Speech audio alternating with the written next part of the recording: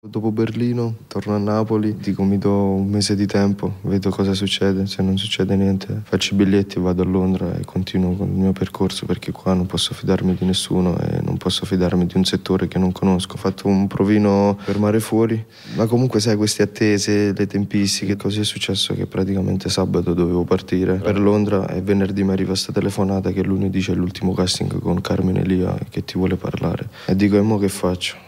E mia madre mi ha detto provaci. E sono andato lunedì, non ho fatto il casting, il regista ha detto sei stato preso per la naturalezza in cui resti. Posso provarci allora. Voglio fare questo progetto e voglio vedere cosa succede.